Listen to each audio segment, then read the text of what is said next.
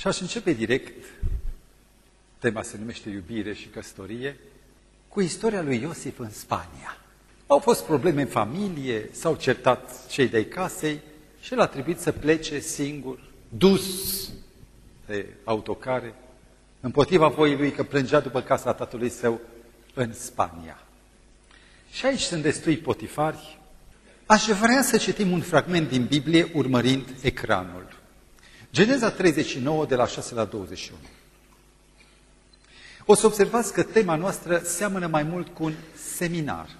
Sigur, este temă, avem Biblia în centru, dar va fi ocazie de mărturie a experienței personale, a, a drumului pe care eu am mers cu greșeli, dar scos de Hristos. Gândiți-vă că Iosif se află într-o condiție cu totul și cu totul specială. Ce vedeți acolo? Iosif e fraier.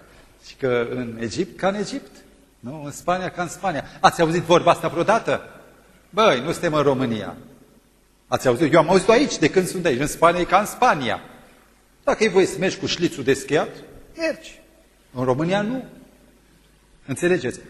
Ori chestiunile acestea cu șlițul, am dat un exemplu care e de totuși, de intimitate, sunt doar bărbați, ține nu de ca în Spania, ci de morală, de bunul simț, de valorile care le avem.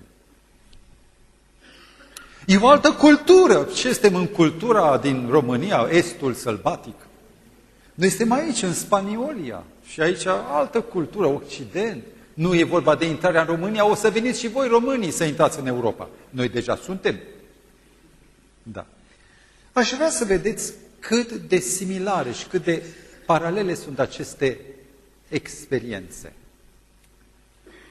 Iosif era frumos și plăcut, scrie. Ea, potifăreasa, a pus ochii pe el. Sigur, e o aventură. Și pentru că viața nu are sens, zic existențialiștii, doar aventurile mai colorează, mai dau un nerv, nu? Așa, olea. Cum aș putea să păcătuiesc împotriva lui Dumnezeu? Interesant că el ține de cultura veche, aia românească, din casa tatălui său, că aici măcar că e altă cultură, nu, nimeni nu l-ar fi osândit. Și în toate zilele lui ea îl, îl chinuia și îl strângea și îl, îl zădăra și îl împiedica în toate zilele. Și, băi, șefa, lucrez și eu la o patroană, patroana, ca și nevasta lui Potifar, nu e o jună de vârsta mea, e o matroană, nu? Da. Are și ea agenda ei de necesități. Și în toate zilele se toace, se toace, se toace. Este acea picătură chinezească. El nu a voit. Iosife, te prețuiesc chiar dacă ești în Spania. Și că nu era niciunul din oamenii casei. Vezi? Când e cineva de la adunare, n-aș putea să mă uit la uh, buticul cu reviste Porco. Așa zic unii. Da. Adică n-aș putea, dar când sunt singur, n-ai simțit niciodată îndemn, măi, e curiozitate să, să mor prost, nu? Să dai o pagină. E apucat de haină. Fiți atenți, haina este o imobilizare, este o, cum să spun eu, o determinare. E șefa. Iar el a lăsat haina și a fugit din casă. Vă întreb un lucru. Stăpânul lui Iosif s-a mâniat foarte tare. Vreau să vă întreb, a crezut el ce a spus Madame Potifar? De unde știți? Ai văzut? Îl spinte ca acolo, nu-l ducea. Dar s-a mâniat că îl prețuia pe Iosif și știa că se teme de Dumnezeu. S-a mâniat că i-a făcut casa de, pardon, de băcănie, adică a făcut casa asta a lui să ajungă de vorba slugilor. S-a mâniat că pierde un om. S-a mâniat pe nevastă sa mărâta, care să știți că n-a fost prima aventura ei. era expertă în lunecătorii, în spărării. Și ca să își salveze onoarea familiei, dar să salveze și pe el, n-a ca doar în temniță. Vă spun, sunt recunoscător lui Dumnezeu că Potifar, în felul în care el a reacționat, a arătat înțelepciune. Și a dat ocazia vieții lui. Și Domnul a fost cu tine, Iosife, în Spania. Subiectul acesta este actual. Este un subiect uh, semnificativ. Pentru că, la ora actuală, odată cu liberalizarea moravurilor, mi-a spus, uh, și acum sunt mult mai liber cu voi decât cu fetele, vă dați seama, n-am nicio preliște, cu fetele delicat să... Dar vă spun, odată cu liberalizarea moravurilor,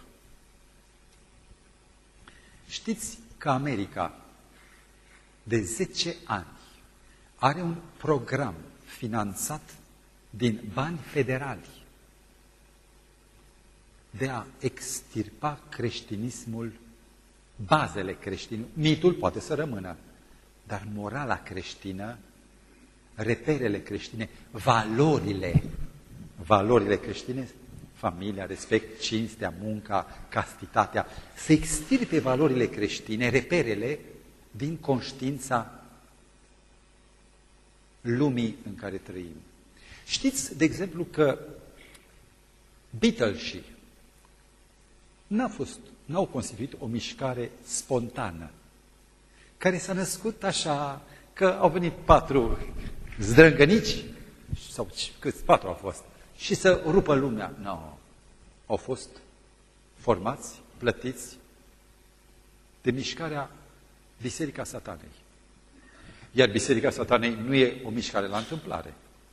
Este un plan mult mai înalt de uzurpare, de cosire a picioarelor creștinismului. E un plan făcut cu tâlc. Voi nu știți că în 1969, la 68, la Woodstock, și în 69 la Altamont, ați auzit? Sunteți nevinovați și mă bucur. În aceste două locuri au avut loc niște experimente de manipulare în masă prin droguri, care au fost studiate de sociologi și savanți și uh, oameni de la CIA, în care au fost strânși la Altamont, de exemplu, mai mult de jumătate de, sau aproape, aproape jumătate de milion de tineri care au fost ținuți o zi întreagă în soare, fără apă, fără closet, fără mâncare, fără poliție, fără niciun fel de supraveghetor. Asta este, sunt documente, intre pe internet și caz jos. Sunt filme, poze. Eu le-am văzut, am cercetat. Și acolo, în schimb, toți au dat, erau mulți tineri care dădeau acid, acid. ce acid? LSD, drog. Și toți au experimentat în masă drogul, iar seara a venit Rolling Stones, că pentru el era concertul, pentru ei era concertul, și Rolling Stones a făcut uh, această uh, mișcare în care un om, printre altele, a fost ucis în mod uh, ceremonial. Și a fost filmat. Și am și eu documente în computerul meu. În serialul Bitul Magic. Ei bine, știați că toate aceste lucruri fac parte dintr-un plan diabolic de subminare a lui Hristos. De ce credeți că sunt atât de mult înălțați și ridicați homosexualii? Gândiți-vă că este e o porcărie. Gândiți-vă la ce sunt cum. Nu. Gândiți-vă că este e împotriva bunului simț, ți-e greață. De ce este atât de mult înălțată această alternativă și li se acordă atâtea privilegii? Se spune că în America sunt 8% homosexuali. Știți că nu e adevărat? a ieșit la iveală că sunt de 1,5 și maxim 3. Dar ei pompează și exagerează cifrele ca să creeze impresia unui impact a unei tendințe care să-i oblige pe oameni, în fața faptului împlinit, să spună hai să recunoaștem și alternativa nebiblică. Pentru că dacă o închid pasta, cad altele. Ați înțeles? Dacă Biblia minte în pagina 82, continuați. Minte peste tot. Deci dacă dărâm acest punct, am dărâmat tot, ca la domino. Clac, clac, clac, clac, clac, clac, clac, clac, clac, și cad toate. Vreau să știți că la ora actuală voi trăiți în Occident. România este încă, încă și încă pentru o vreme bună, prin faptul că există, mai ales în biserică, chiar și în afara bisericii, rezistența. Noi vedem unde a ajuns Occidentul, e deja, se spunea o, o vorbă, un banc, în timpul comunismului. Spune capitalismul se află pe marginea prăpastiei. Ați auzit, nu? Și ce face? Păi se uită la noi, care suntem în fundul ei. Comuniști. Cam acest lucru se întâmplă. Noi ne aflăm, România, pe marginea prăpastiei și văzând ce este în fund, spune, domnule, dă-te înapoi, că nu se va întâmpla ceva bun. În biserică există, din fericire, o tendință de rezistență, de împotrivire față de aceste tendințe. Și Dumnezeu să fie lăudat. Voi însă sunteți extrem de expuși. Aș dori în această seară, după ce am avut introducerea biblică, predica despre Iosif, și o să mai trec puțin, o să mai insist pe Iosif câteva lucruri, aș vrea să discutăm câteva chestiuni legate de modul cum concepem prietenia, dragostea, căsătoria, să verificăm dacă reperele sunt încă valabile sau nu. Iar dacă sunt, pentru că Biblia nu s-a schimbat, e aceeași, atunci trebuie să ne reglăm viața noastră, că pe ea nu putem regla.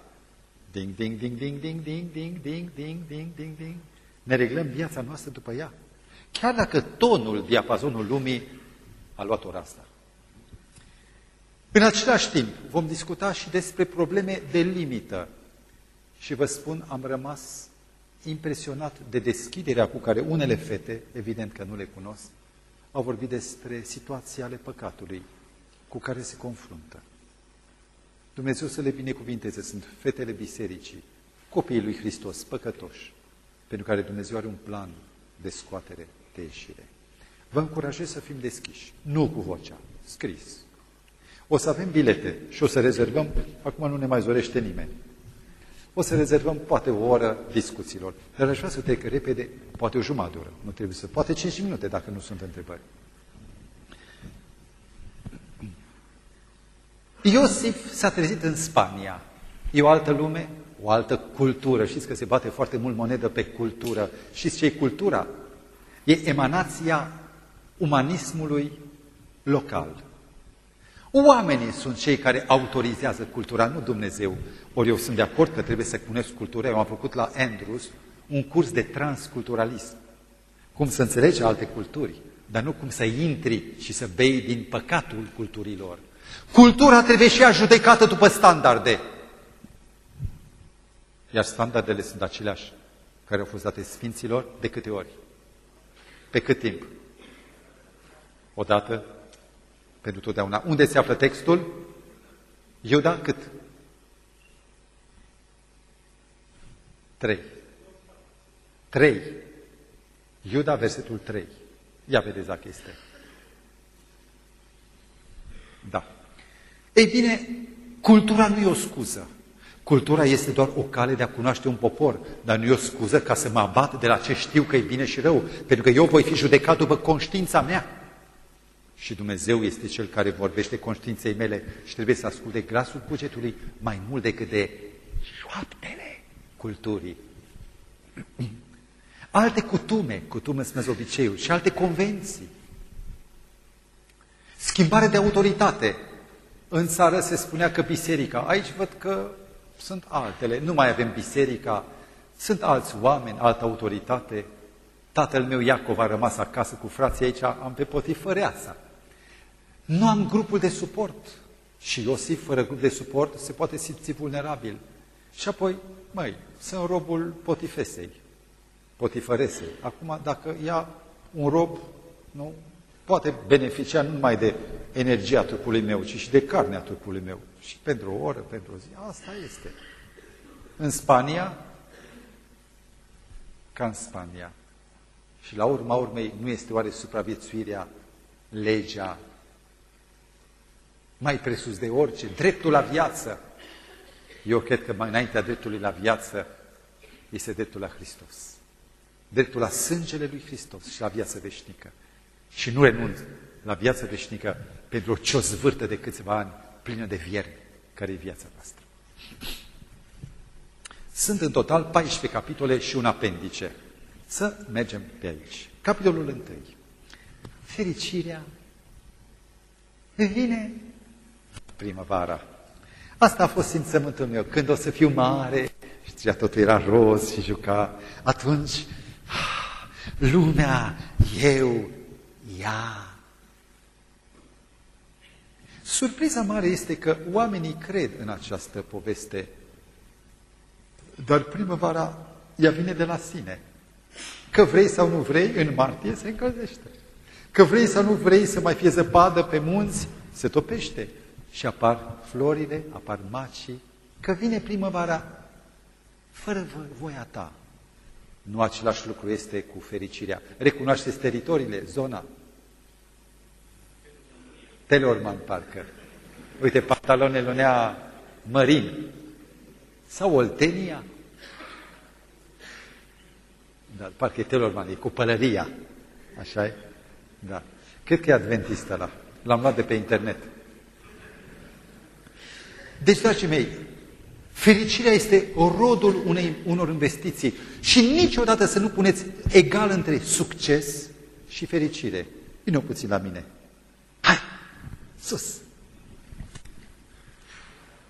Ești un băiat cum aș vrea să am eu un băiat, înalt, frumos, voinic. Băiatul ăsta are succes în viață cum merge, pentru că și un om vrea să aibă un angajat, un patron, un bodyguard voinic, trebuie să aibă un om frumos ca potifăreasa să aibă plăcere când se uită la el. Ă, tu ai din start, ai și un păr lucios, văd, ai din start drumul deschis. Auziți? Ușa e deschisă. Vei avea succes. Succesul nu însemnează fericire. Mari oameni care au succese răsunătoare și au bani și femei, n-au fericire. Nu uitați niciodată. Succesul poate veni prin ce ți-a dat Dumnezeu. Nu? Că ai petale și ai parfum, că ești floare. Dar fericirea este rezultatul, mulțumesc, este rezultatul acțiunii tale. Tu o declanșezi, tu o acționezi, tu o determini.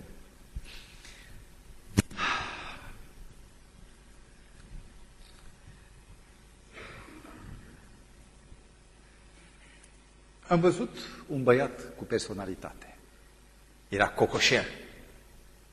Era în tren și vorbea, vorbea cu gâră. Avea... La o vreme... Am, am schimbat, iertați-mă. Ăsta era băiatul fermecător de care v-am vorbit, care a venit după uh, ce trenul a ajuns uh, la jumătatea traiectoriei. Băiatul cu personalitate era un băiat serios, nu atât de reușit, exemplar uh, reușit, ci un om serios, îmbrăcat. Ei, când te uitai la el, simțeai că parcă e un om limitat. Și a venit fanfaron, fanfan, a venit fanfan. Salut, băi, salut, salut. S-a închis o discuție. Fanfan vorbea într-una. Și pe măsură ce când a intrat eu, am zis, domnule, ăsta da exemplar. După un sfert de oră am simțit că dacă ar fi să-mi aleg un prieten sau un angajat, nu mi-ar trebui fan-fan. Om superficial, un om care deschide cu, cu râsul lui și fermecător ușile, dar care nu are fond. Chiar dacă e mai puțin arătos, băiatul cu personalitate e un om întreg, și atunci când o fată vrea să se, să se căsătorească, să știți că dacă e o fată înțeleaptă, nu va alege un băiat fermecător, coaja, doar eticheta și ia toată marfa. Uh, vă rog frumos, uh, ajutați-mă, nenea Richard sau nenea XY, hârtii. Avem hârtii să dăm la toți? Poate pe măsura ce discutăm apar idei. Era un teanc, o cutie și aș vrea. Diaconii unde sunt? Să vină la dânsul. Mulțumesc, viteazele. Fiecare ia. Împărțiți unul de căciulă. Adică nu împărțiți la fiecare, dar s-a început de rând. Un teanc, un teanc, un teanc la capetele rândului și ele, teancul merge până la capăt și ce rămâne se întoarce. Ce rămâne în plus? Așa. Capitolul 2. Eu vă spun din experiența mea, eu am crescut într-o familie de necredincioși. Auzi, nu da la fiecare prietenul meu, dă la cap de rând un teanc. Și îi împart din mână în mână, așa, da. Din mână în mână. În rândul 2, în rândul 3, în rândul așa. Auziți? Eu am crescut într-o familie în care nu aveam idealuri veșnice. Și pe la 12-13 ani, 11 ani, poate am fost cam precoce emoțional, am început să mă interesez de fetițe. Sigur, eram nevinovat, habar n-aveam cu ce se mănâncă. Dar am început să visez. Eu am avut neșansa ca să merg la școală cu un an mai repede ca toți. Și acest lucru m-a decalibrat din stat și am fost un complexat. Uh, regret că n-am avut niciodată curajul să mă apropii, nu regret, regretam că n-aveam curajul să mă apropii de nicio fetiță. Și dacă aveam eu simpatie, erau doar pe ascuns, că era rușine. Ce să vă zic? La, 3, la 15-16 ani eram la bunici, la iud, și visam după cineva. Nu exista încă, eu plângeam după ea. Aveam momente de dor, de căutare în gol, de nevoia de a fi cineva și credeți-mă că plângeam după cine nu exista. O să spuneți că eram bolnav. Da, eram bolnav de romantism, nu de reumatism. Romantism. Visarea romantică plonjează din realitate într-o zonă feerică. Știți inima cum se numește? Ei, știți, citiți. Cum se cheamă? O ia halunda! Pleacă și te duci cu poliția să o găsești. Inima nu are rațiune, are doar impulsii și merge după, ca și câinele, după percepții, senzații, simțuri. Sunt. Și dacă sunt, merg. Am cunoscut o femeie, Richard, deschidem, te rog, asta să nu mă ocup. Era bunică, fiți atenți aici. Avea 52 sau 53 de ani. Bunică, avea nefață. Și a venit la mine fică sa să-mi spună, nu știu ce face mama. Mersi. Mersi frumos. Pentru că este înnebunită, îndrăgostită de un tip cu 20 de ani mai tânăr, cu coamă, leu tânăr. Ce să fac cu el? Cu ea? Nu erau credincioși. Frecventau biserica. Dar și dați-mi voi să-i spun baba, eu nu sunt moș, da? Îi zic acum așa că ce s-a întâmplat. Plângea, nu mai putea dormi, slăbea de patimă. Era măritată, bărbatul trăiește. Lui nu îi spunea, îi spunea ei, nu mai pot, vreau să îl am. Și până nu l-a avut, nu s-a lăsat. Și după ce l-a avut, i-a fost scârbă și de ea, i-a fost scârbă și de ce s-a întâmplat, că mai venea la biserică, știa chestiuni. S-a pocăit și nu vă spun că a venit la mine să o botez. la subiectul. Inima n-are rațiune. Eu sunt căsătorit. Și de nenumărate ori în viața mea am primit mesaje, semnale neconcrete, dar semnale precise că inima mea s-ar cupla ca niște roți dințate perfect cu A, B până la Z. Și asta e inima. Din fericire, inima e nebuna locuinței. Și Dumnezeu mi-a dat rațiune. Cel pe care îl vedeți voi aici este un pictor, Goya. Ați auzit de el? Pictor spaniol. El a făcut 80 de gravuri și titlul cel mare este aceasta, este acesta, somnul rațiunii naște ce? Dacă lumea astăzi este monstruoasă, este pentru că rațiunea doarme de mult. Rațiunea este de, scoasă din uz. Oamenii spun dacă simt, așa simt. Și vreau să vă spun că romantismul a fost un mare blestem. Vreau să vă spun o chestie de filosofie și estetică. Și anume, a existat clasicismul în care rațiunea era pe vârful piramidei. Rațiunea știa ce e bine și ce e rău, morala. Când a venit renașterea, și renașterea a venit, am spus de unde vine cuvântul renaștere. V-am zis? La o temă, cred că am spus. Renașterea vine din cuvintele lui Petrarca, un italian, care a lansat sloganul să renaștem idealurile vechii greci. Iar idealurile vechii greci erau homosexualitatea, adulterul, Socrate spunea, sau Platon spunea, soțiile sunt pentru procreere, prostituatele pentru plăcere și aveau loc împreună, asta e vechea Grecie. Vechea Grecie era păgână și nu avea pe Hristos.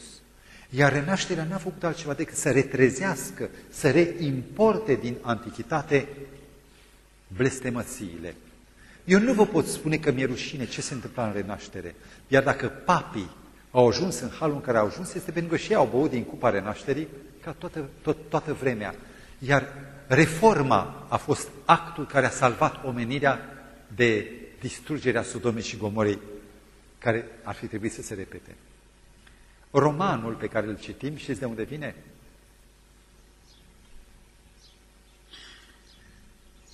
În roman și în romantism e dominația inimii asupra rațiunii.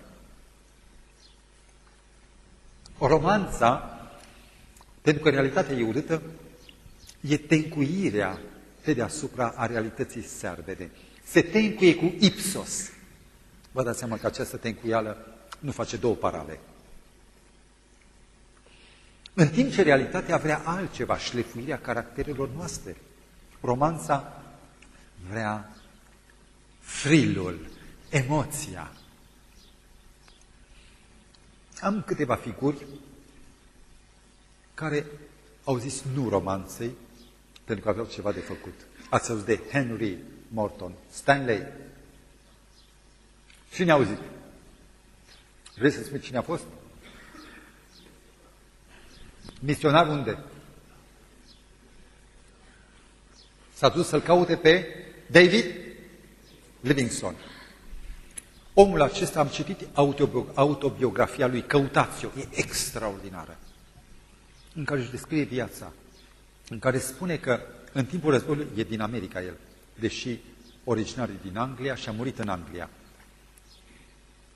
S-a pus în slujba Angliei. El a fost crescut în America, îmi cer scuze că mănânc aceasta, nu mănânc de poftă, dar simt că mi se duc puterile și am nevoie.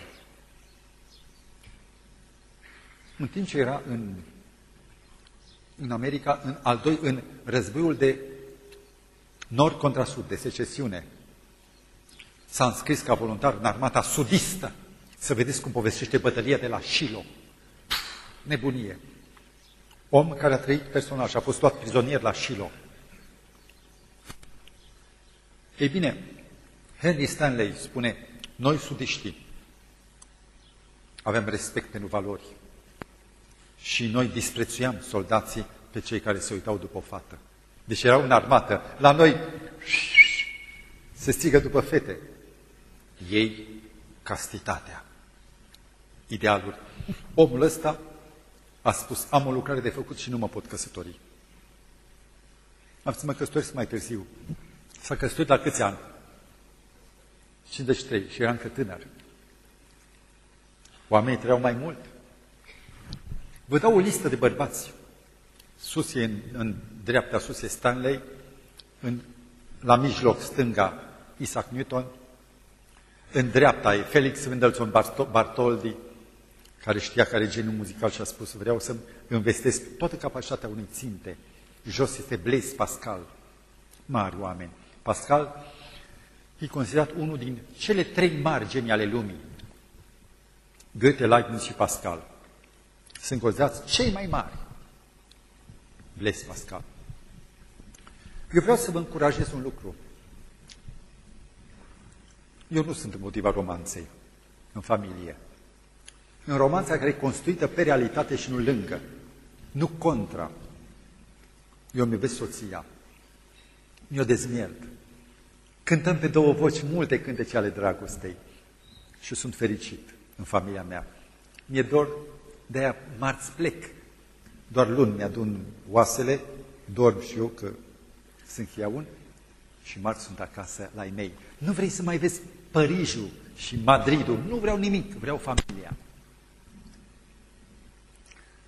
Dar vă îndemn ca să fiți oameni înainte de a fi amorezi.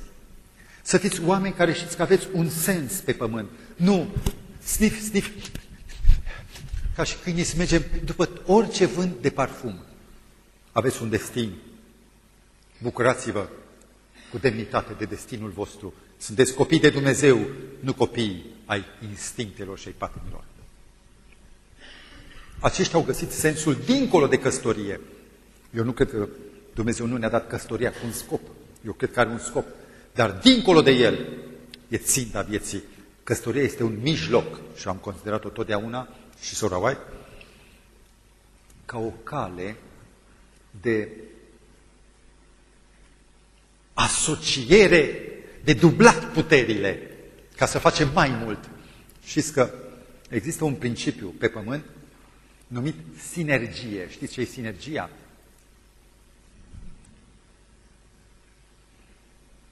Am șapte bucăți ale unui întreg. Uite, ciocolata asta, una, două, trei, patru, cinci, șase, șapte. Exact 14 bucăți.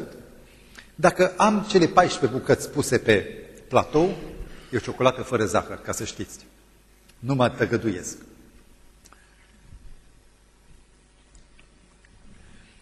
Uh, vreau să zic așa. Cât fac 1 plus 1 plus 1 de 14 ori? Cât fac? Aici e surpriza. Că fiecare bucată e o unitate. Când însă constitui un întreg din piese, ajunge la 48. Nu știi cum. Sinergia spune că întregul, întregul ca unitate, e mai mult decât suma părților. 14 bucăți, deci valoarea e 14, nu. Când devine un întreg, devine extraordinar de puternic. Și ăsta e principiul comandourilor. Ați auzit de comando? Bat o armată, un comando.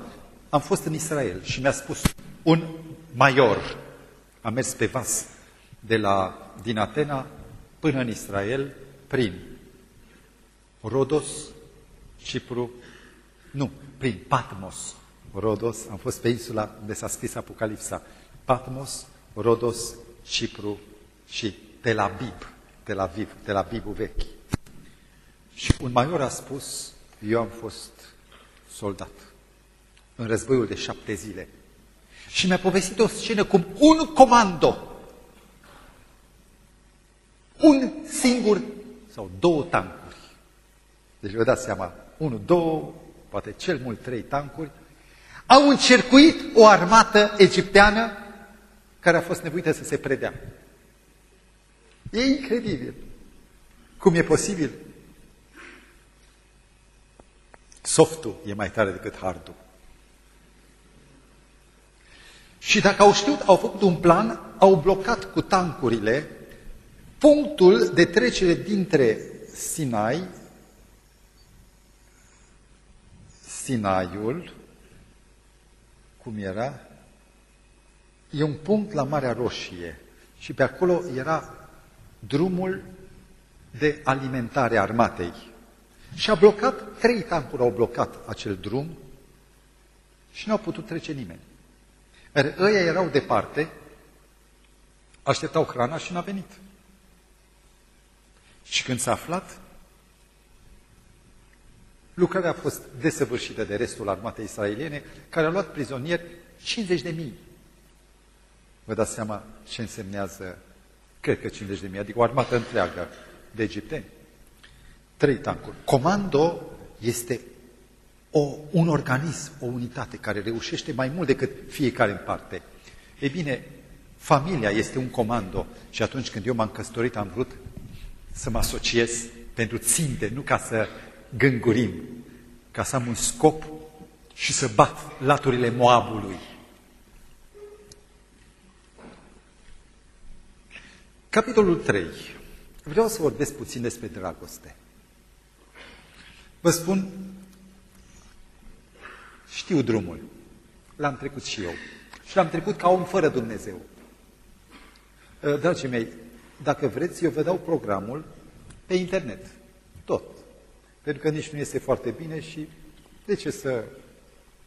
Vă dau, îmi cereți și îi dau colegului meu, Gabi, că l-am văzut acolo, tot ce am e și al vostru. Și măcar să dea Dumnezeu ca să facem ceva în viața noastră, o determinare, o redeștare și o reformă. Ce însemnează dragostea? Hai să o definim. Un răspuns din sală. Mai sug eu ceva.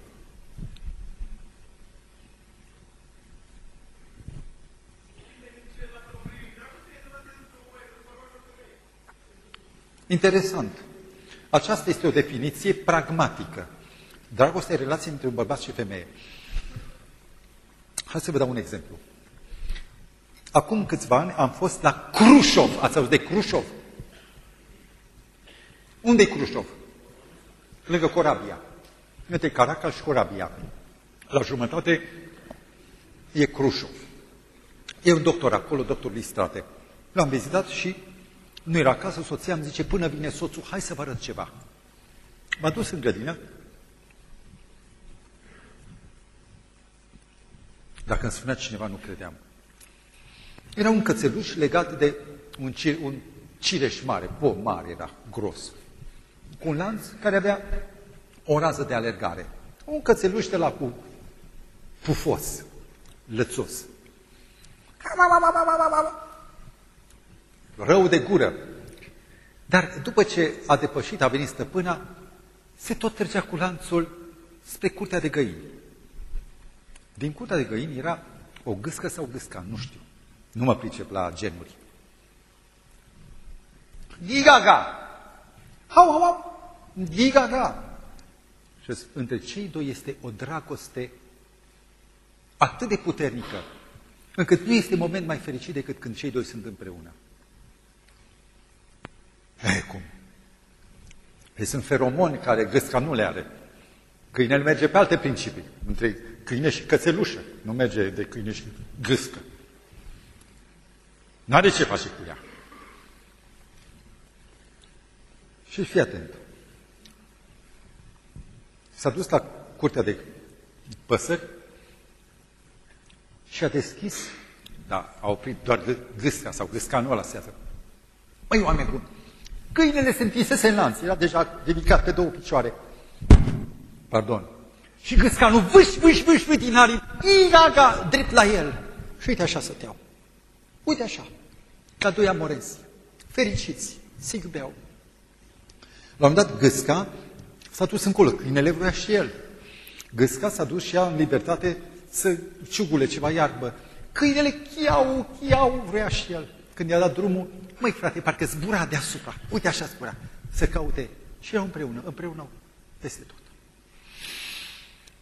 Dragostea este doar relația între un bărbat și o femeie, din o câine și o cățea. Vedeți, trebuie să fie ceva mai mult. Mulțumesc, a fost utilă intervenția dumneavoastră. Ce e dragostea? Eu cred că, dincolo de atracția dintre genuri, dintre bărbat și femeie, dragostea e ceva mai profund. Mai profund. Ce este dragostea? Ajutați-mă. Un sentiment care nobilează? Cum? N-am auzit. Spune mai tare. E o legătură de sfârșirii. Foarte frumos.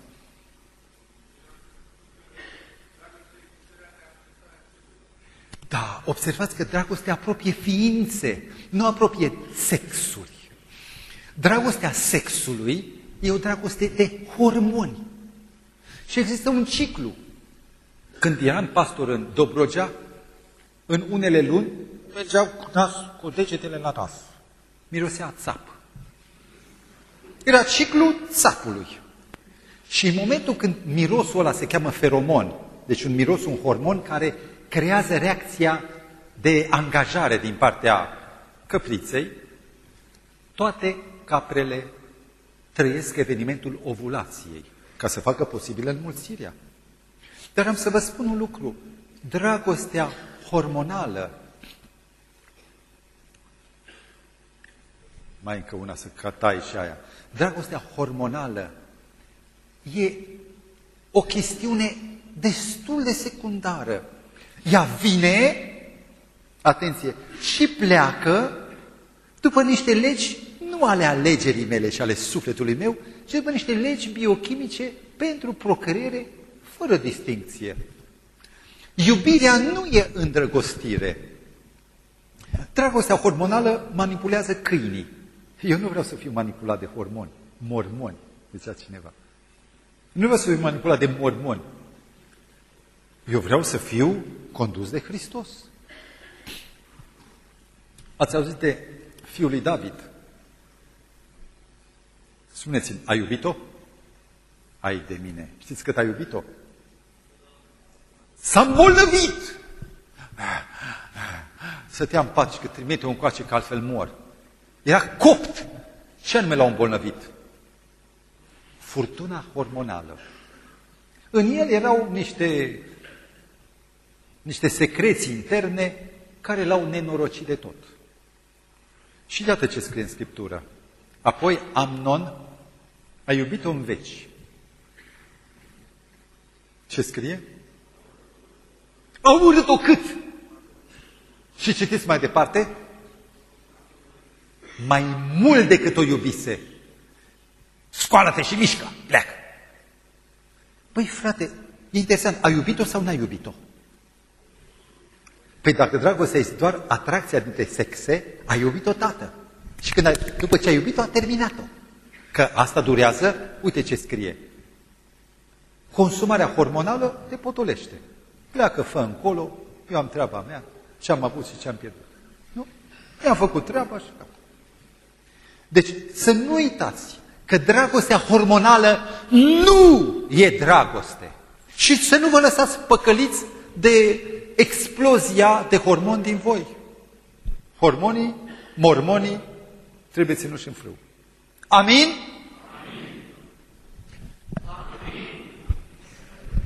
Amin, Amin tată. Ei bine, dragii mei,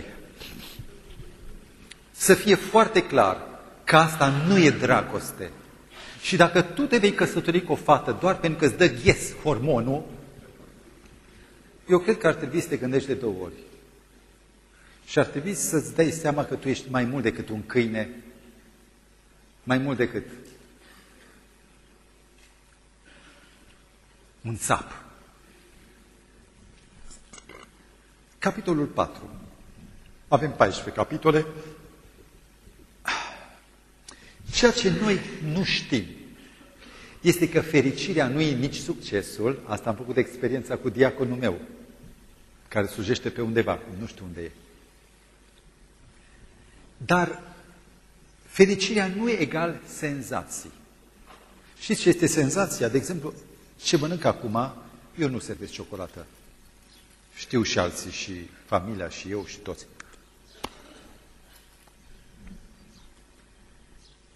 Pentru că îmi dă o senzație foarte plăcută. Eu acum o mănânc din motive raționale. Nu pot să spun că nu-mi place. Nu pot să spun că nu-mi place. Dar nu mănânc, pentru că aleg să nu mănânc. N-am mai mâncat ciocolată de ani de zile. Și am mâncat-o și pentru că nu are zahăr. Deci vreau să rămân consecvent hotărârii care am, am, am luat-o. Nu pot spune că în alte situații am făcut un drum foarte lung de la, din Italia până în uh, București cu mașina. Eram terminat. Și am luat ciocolata care, eu nu iau cafea. Ciocolata are teobromină și teofilină. Sunt niște stimulente mai blânde decât cofeina. Și cafeaua nu o iau, orice ar fi. Nici de aia, cum se cheamă, taurină sau Red Bull, și că bivol roșu. Care toate sunt cu mormoni. Însă ciocolata e ceva mai echilibrat, nu spre nimic de Ege White despre asta, cacaua, și vreau să mă ajut să ies din, acest, din această strungă în care sunt acum. Faptul că îmi place nu-mi dă fericire. E bun. Dar nu sunt fericit. Pot să fiu nefericit să mănânc ciocolată. Corect? Fericirea e de ordin spiritual. Senzația de ordinul simțurilor. Fericirea este rezultatul angajării dragostei. Senzațiile mă conduc la o dragoste hormonală, care nu-i dragoste. Eu când iubesc pe cineva, nu iubesc că îmi dau ghes hormonii, ci iubesc pentru că am motive profunde. Descoper în ea, în persoana aceea, calități care mă întregesc pe mine. Vă spun, soția mea mă ridică, mă întregește. Adică mă face, o știi, bebe, mă face să fiu demn și e tot timpul în spatele meu, nu iese în față și mă înalță, mă ridică. Sunt atât de onorat să fiu soțul soției mele. De aceea iubesc extraordinar și pot spune care e și plăcut. Îmi place. Adică bucuria este complexă, dar nu faptul că posed o femeie îmi dă fericirea. Spiritualul și materialul nu sunt vase comunicante. Că pot să pompezi oricât în senzații că nivelul, deci ăsta crește, la vasele comunicante, știți, tinde să se ridice și acolo unde nu e. Ăsta rămâne jos tot timpul, ăsta să se reverse și ăsta e tot jos. Oamenii care investesc în material, în senzații și nu în în domeniul spiritual, nu o să aibă niciodată un prag mai bun de stare de bine spirituală. Ați auzit de acest cuvânt? Cine a auzit? Eu am auzit. Știți ce însemnează aceasta? E un mod și că jucării pentru plăcere. E vorba de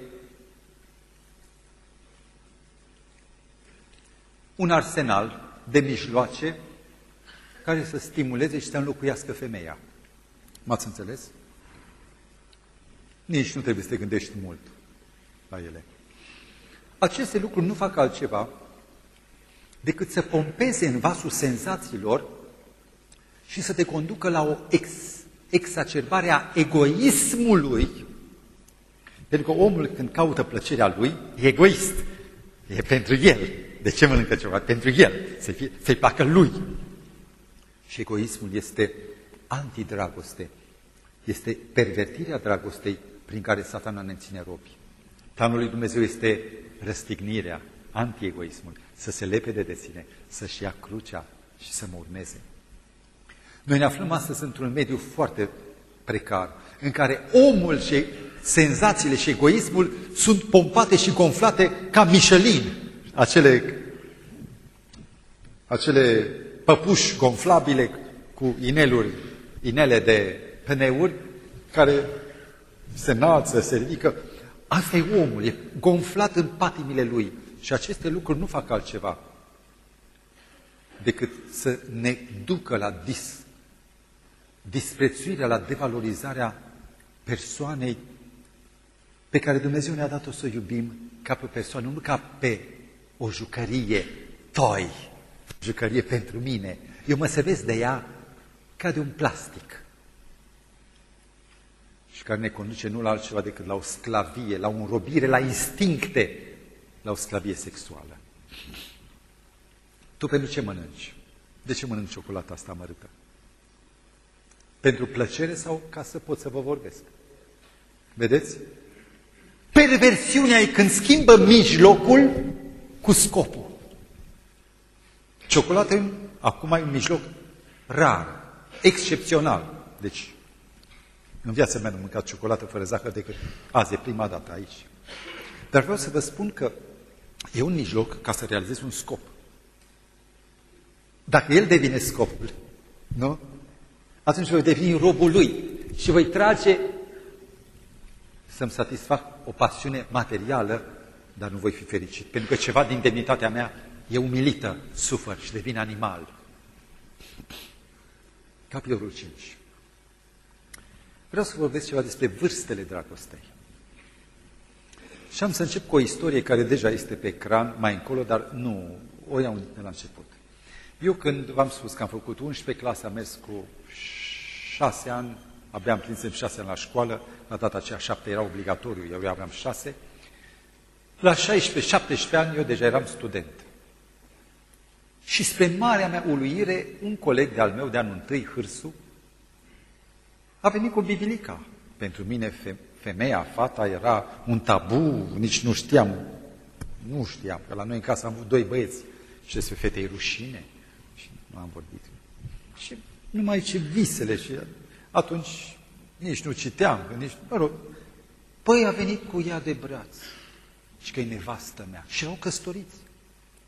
Bravo, însă uite că totuși sunt și eu destul de mare, aș putea și o să mă însor. În anul 3, Hârsus a, a divorțat. De ce? De ce? Uitați de ce. Iovan Ducici, un mare scritor sârb, l-am citit în tinerețe, la adolescență, 17-18 ani, un om care cugetă, un filozof romantic, romantic nu în sensul femei, fără femei, niciun fel, dar cugetă frumos, poetic. Scrisori, are așa de scrisori, scrisoarea din Roma. El vorbește și zice, Roma este orașul în care toate vârstele se pot regăsi. Când la 20 de ani treci prin Roma, simți parcă și vezi umbrele sutelor, miilor de curtezane care au umblat pe acele străzi. Trăiești ceva din, din fiorul emoțiilor. Când treci la 30 de ani prin Roma, o vezi altfel.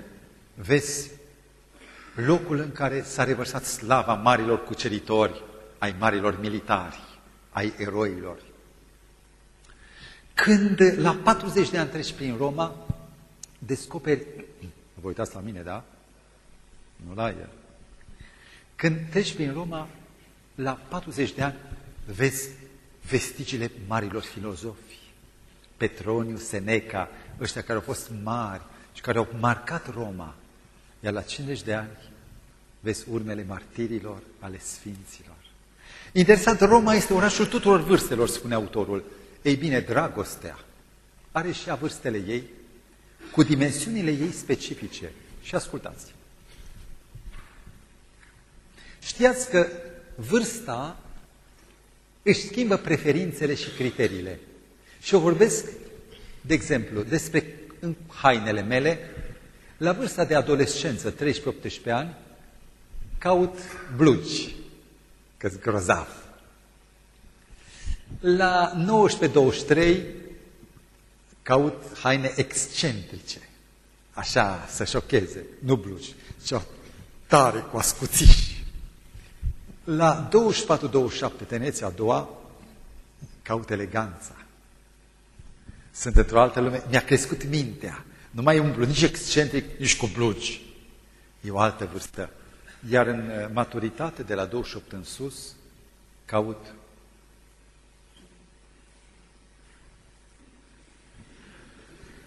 Nu mă mai interesează. Mi-a venit mintea, am alte treburi, iau și blugi și de toate și acum... Așa-i băieți? Vedeți? Când vorbesc despre dragoste, și dragostea trece prin diferite vârste. Și când sunt la 14 ani, la 16 ani, visez într-un fel. Hârsul, de ce, a de ce a divorțat amărâtul? De ce crezi că a divorțat? Pentru că după trei ani s-a uitat la nevastă și a spus, ce am eu cu ea, bă? Între timp, pe piciorul a crescut și pantoful care l-a luat pentru viață i-a rămas mic. Criteriile s-au dilatat și femeia era doar pentru vârsta aia. Nu mai corespundea și s-a socotit înșelat.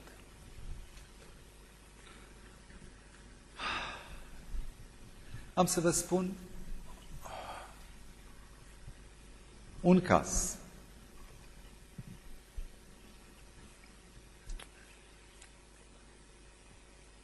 Cunosc o fetiță. Am fost implicat în familia aceea, ca pastor, care la 10-11 ani jurase dragoste pe veci unui băiețaș cu 2 ani mai mare ca ea. El avea 12-13, ea 10-11. Și a durat vreo trei ani această extraordinară aventură nebună, sigur, nu cu puparisel, chiar nu, puieți de ăștia mici, dar cu dragoste. Și părinții m-au întrebat ce să fac. Și am spus, apropiați-vă de fata dumneavoastră și căutați să o sfătuiți, nu să obligați să rupe relația, să rupă relația, că nu puteți. Dar căutați să scrieți scrisorile împreună. Și așa a făcut. Și mama a ajuns în trei luni la inima fetei, i-a spus tot, în trei luni a durat. Ușor, când des, desfaci o operă de artă, nu ușor, și ca să nu...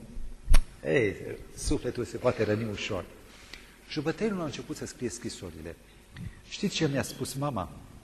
Mama fetei, numai Dumnezeu m-a ajutat să ajung la inima ei și să deznodăm împreună cazul lui Stoichiță,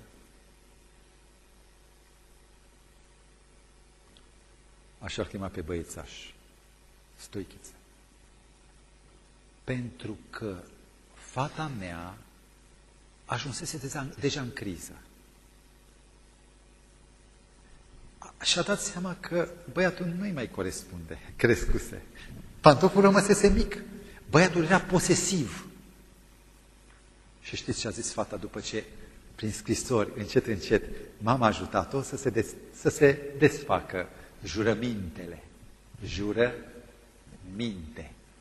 Jurăminte. Jură și minte. Jurăminte. Și să se desfacă jurămintele. Și fata a jurat după aia, fără minte cu minte, dar fără minciună. Fata a jurat. Eu, la 13 ani, era un copil. Era încă dreaptă, ca o scântură. Ea a zis, eu nu o să mai vreau nicio prietenie până nu voi fi gata de căsătorie. Și măcar că după aceea s-a gonflat, ca să folosesc un termen delicat, și cu toate că după aceea au început să se apropie tineri care să o curteze, fata a rămas credincioasă legământul ei și a spus nu! Doi ani de zile m-au costat părjolul. Vreau să aștept până când piciorul meu crește de tot. Și când e gata, atunci caut un pantof potrivit pentru o viață. Amin?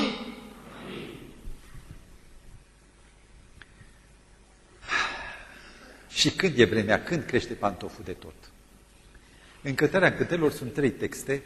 Ce nu stârniți dragostea, ziceți. Păi a stârni înseamnă să o faci să vină. Și dacă tu stânești, vine. De ce zice să nu stânești ca să nu vină? Păi nu se contrazice? Ha? Fetele au sezizat imediat și au zis, nu, e o desebire. A stârni e că o fac eu să vină și când vine ea, Domnul o face să vină. E o deosebire?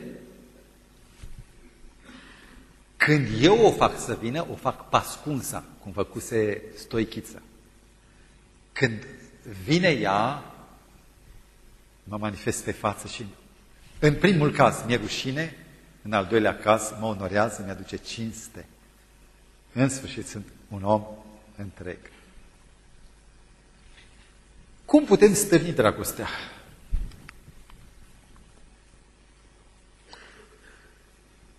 Prin visare, citind romane, și vă spun, nu este ceva mai stricăcios pentru minte, spune Sora White, decât romanele. Când citim romane, noi proiectăm subiectiv universul nostru și ne pictăm oamenii cu așteptările noastre, care nu sunt așa. În realitate, lucrurile sunt cu totul diferite. Ați auzit de fata Morgana, da? O vezi, dar nu e.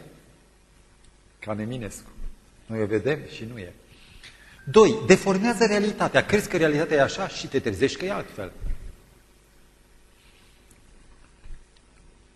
Când eram mic, fratele soției mele, Puiu, a citit despre parașute. Și a văzut o dihanie de umbrelă a lui tata. Mare. Și a spus, fac și eu parașutism. S-a dus pe șopron, pe șopru,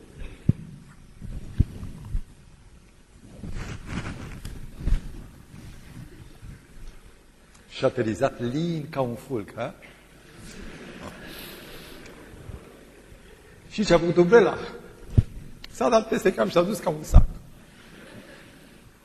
Noi ne reprezentăm ca tineri altfel realitatea. Când urcă un adolescent la volan, miau, miau, te bași și ești grozavul lumii și nu știi că este o cutie, uite așa te faci. Mașina este un sicriu zburător. Și dacă nu ai înțelepciunea să te păzești de tine și de ea, ești nenorocit. Spune un text, visarea transformă lucruri. De adevăr, când visezi, nu oameni. Visarea mea nu transformă un om. Eu mă gândesc la ea, visez, visarea mea nu o face altfel. E tot așa. Eu doar am impresia și mă înșeală. Capitolul 6. Aici vreau să vorbesc despre psihologia inversă. Eu n-am știut multă vreme că sunt două feluri de psihologie. Psihologia fetei și psihologia băiatului. Psihologia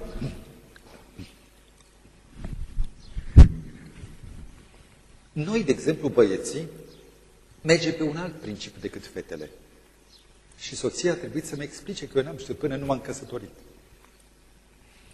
Noi mergem în problemele emoționale pe văz. Nu este degeaba pornografia doar către bărbați orientată. Pentru că cei care răspund vizual sunt bărbații. Femeile nu răspund deloc vizual. 99,99% n-au nimic. Din potrivă, îi croază.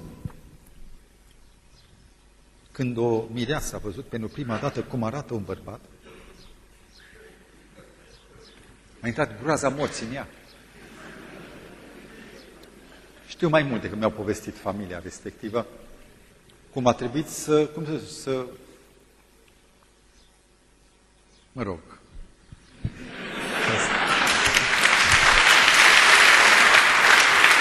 E o istorie lungă. nu penibilă, de o istorie cu urmăriri, cu lasă-mă, mă duc la mama, stai pe loc, nu, dar îmbracă-te și așa mai departe. Deci, rețineți, psihologia noastră este vizuală. E oftalmică, ochi. Psihologia sexului. Psihologia fetii este pe afecțiune. Și relația incomparabil determină dragoste la o fată în momentul în care se arată respect, afecțiune, duioșie, dar se determină în mod real, cum la mine se întâmplă pe baza ochiului. Și acesta este doar un prim început al psihologiei inverse. Noi suntem două ființe, ea este marțiană, eu sunt pământean. Mă-ți înțeles? Și nu, nu există convenție, de aceea, pe baza acestei psihologii trebuie să știm cum răspundem în relațiile noastre ca să nu stricăm un drum.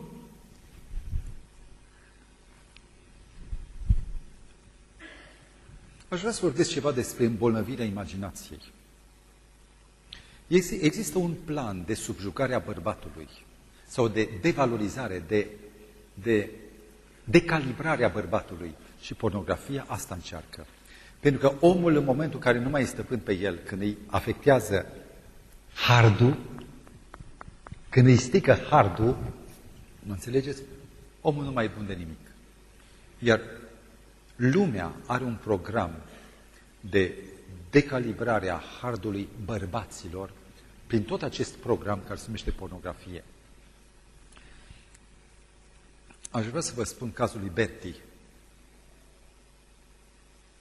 dar aș vrea să promiteți sau să nu vezi. E un caz trist. Și un caz care s-a făcut public în revista Newsweek sau Time. Am căzut jos. Biserica, conferința generală ne-a trimis-o și nouă. Vă amintiți de serialul lui Dwight Nelson? Vă amintiți că erau doi tineri care au făcut introducerea prezentările. Cine era? Șasta, fata și băiatul. Era un negru frumos, inteligent, Betty.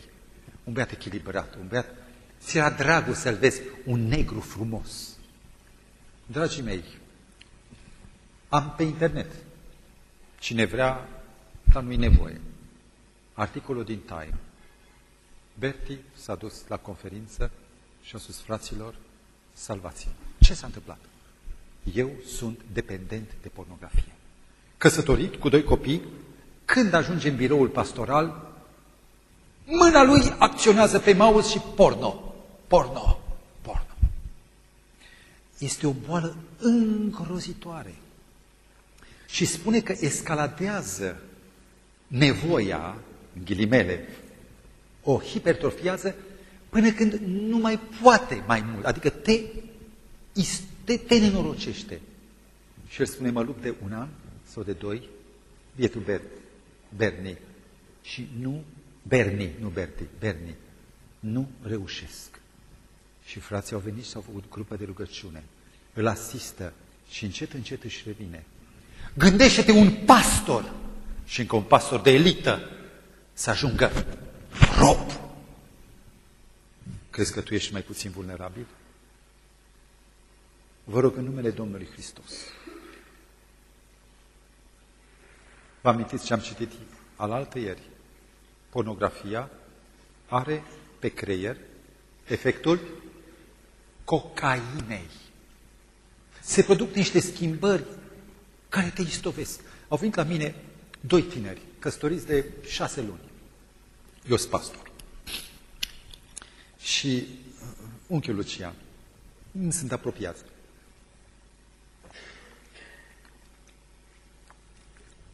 Unchiul Lucian. Ce? Vrem să vă întrebăm ceva. Fata vorbea.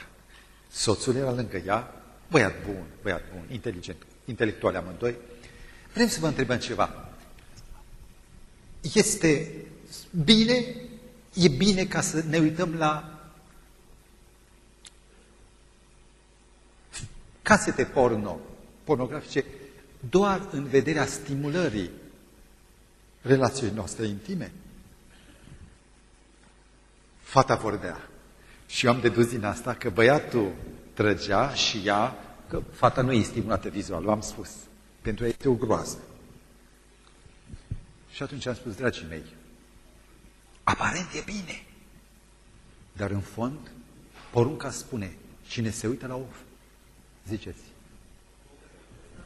la o femeie, nu la nevasta, la o femeie, nu la femeia lui neva, la o femeie alta, să o poftească, în momentul în care eu mă apropii de nevastă mea, dar eu sunt cu aia altă în minte, eu cu cine am relația? Tu vreți ca soțul să fie în adulter în timp ce te pupă pe tine, să se gândească la aia altă în minte? Și vă spun că atunci când vezi ceva și soția nu e capabilă de meseria ăleilalte, atunci o să zic, băi, eu vreau așa, nu? Ce faci? Și apar probleme, vă spun. Să ne ferească Dumnezeu de această groapă în care colcă viermii și demoni. Dumnezeu să vă ferească. Vreau să mai spun încă un lucru. Fetele nu știu și nici nu o să știe, că noi nu o să le spunem. Amin?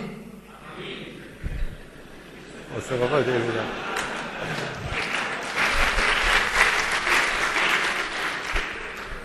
Auziți? Am și un băiat, Pepitu. Bebe, au fost camarazi amândoi, la măsus, la școală, mă rog, împreună. El era ceva mai mare cu trei ani decât băiatul meu. Și am avut internet de când ei erau de vreo 90 ani. Nu internet, computer. Por m-am tras și noi prin telefon, internet și limitat, că costa bani, o groază de bandă de pe telefon. Da, băiatul era acum, dacă nu mă înșel, student sau licean în anii mari și m-a intrat pe internet și eu îl respect. Deci i-am dat libertate, dacă nu îi dau loc de exercițiu al alegerii, îl handicapez. Astfel să aibă el alegerile lui și îi spun ce bine și el să lupte. Și a venit odată un băiat, Cezar, din Statele Unite, care era expert în, în computere și în internet. Și am spus, măi, Cezar, eu am o cutie poștală și îmi vin toate nebunile. Deschid și eu, că Lucian Cără mie îmi zice, când deschid, ia acolo, auzi, iau de aici, apăs, nu găsesc mouse-ul, nici nu vreau să mă uit, efectiv, că intră în mine și nu mai iese. Știți că noi nu avem clapa delete? Delete, nu avem delete. Și rămâne acolo și spune, de acolo mă mănâncă și nu vreau, iau de aici. Dar nu alegi și deja e în fața mea. Și eu zic, măi, vreau totuși ca părinte, că vreau să știu cum să lucrez cu băiatul meu, e al meu și poate că mai scop vorba, nu ți dar să, să... Băi, zice, te avertizez. Să nu te aștepți. Să nu fie nicio încercare. Chiar dacă nu stăruiește, dar în Statele Unite nu e tânăr care să aibă o cotă de participare. Nu e rar, ci așa sunt nebunii. Uite, ce Universitatea Cutare Adventistă, și asta arată decadența Occidentului, nu arată normalitatea. Vreo 70% din studenți de la universitatea noastră accesau site-ul porno. 70 ceva la sută. Unii erau de la teologie.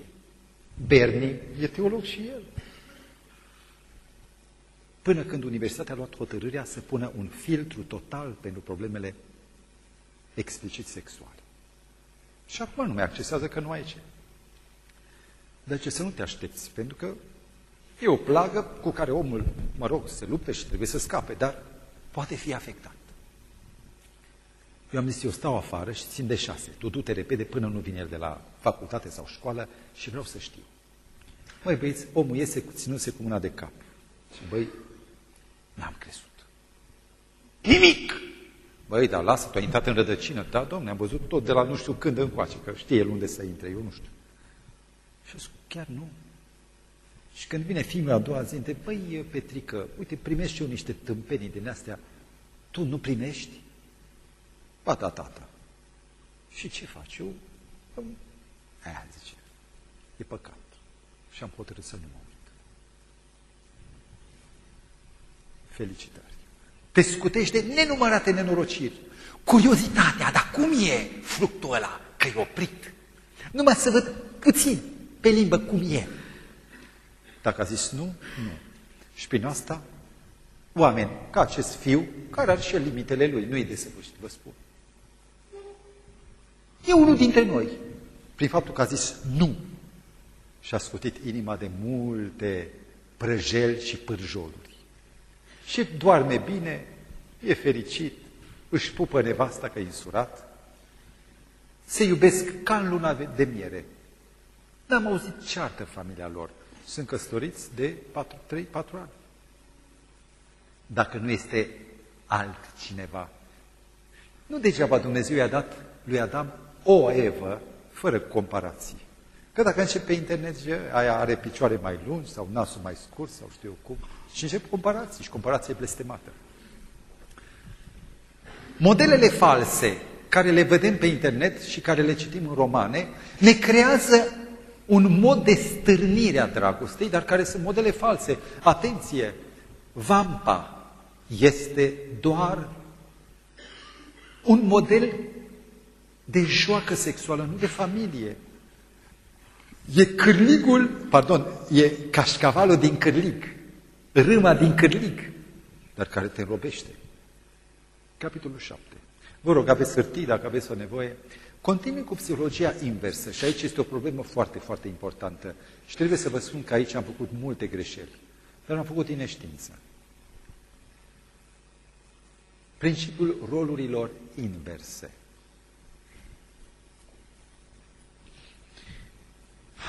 Eu n-am știut, de exemplu, că există două funcții cu totul distincte. Și anume, că eu am drepturi egale cu femeia, cu fata. Numai că avem roluri cu totul distincte. Că eu sunt factor activ, care bat, nu fata bate. Și când eu, din greșeală, bat în ușă, fata deschide ușa, are rol pasiv și orice ciocănitură, ce înseamnă? El e. Eu bat că vreau să întreb dacă prunul ăsta face roade sau nu. De ea zice, prunul e un pretext, el vine pentru mine. Și în momentul acesta, cea mai mică aluzie, un zâmbet, și eu am fost fraier, vă spun, soția îmi spune, Lucișor, multe greșeli ai făcut. Și am făcut, că nu mi-a zis nimeni. Eram atât de prietenos cu fetele și toate erau așa de cuminți și se uitau la mine ca la îngerul Domnului. Iar eu juram și le-am spus sau toate, fetelor, eu rămân ca Pavel. Și zicea, da, da, dar se uitau prin mine. Mă înțelegeți?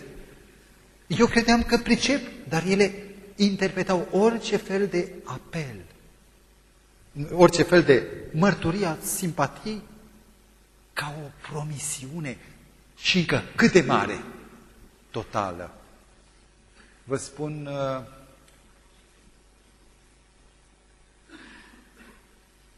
odată am stat într-o comunitate din București unde făceam practica și trebuia să pregătim un program muzical. Și am venit o gașcă întreagă.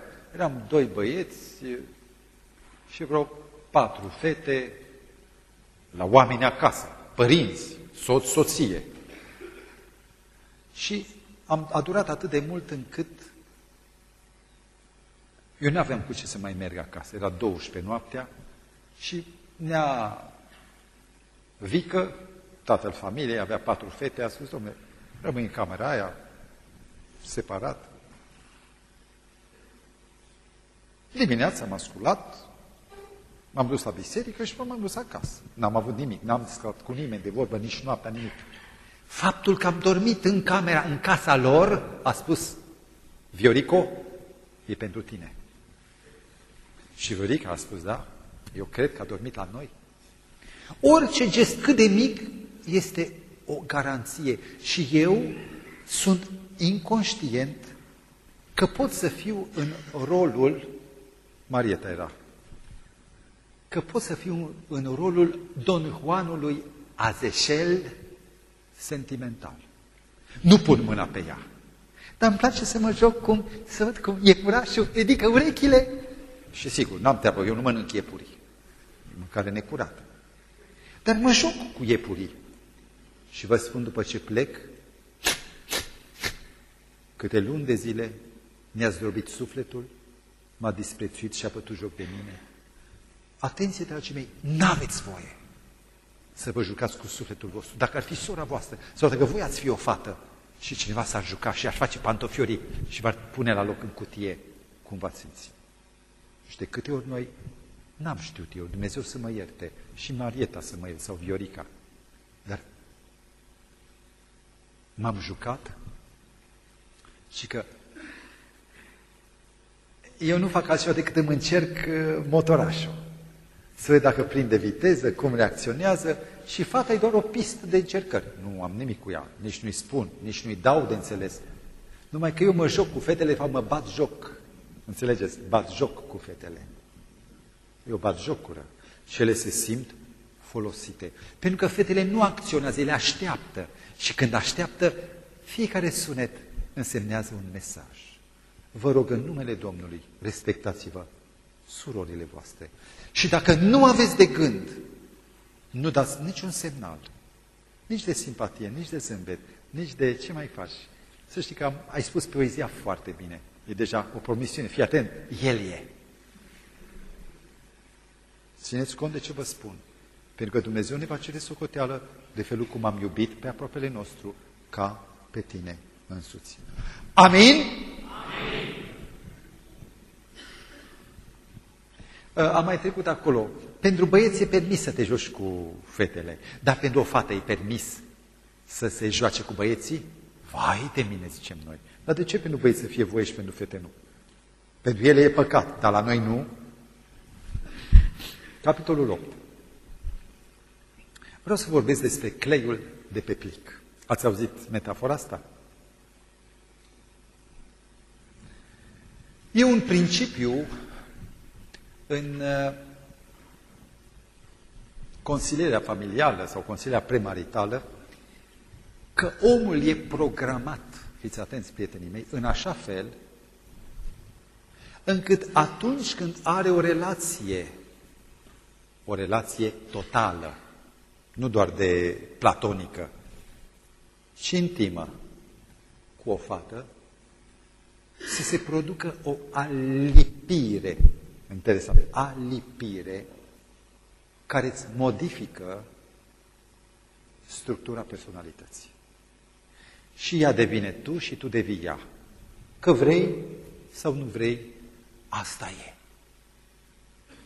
De aceea, eu nu mai pot după soția mea, că a devenit eu și eu am devenit ea.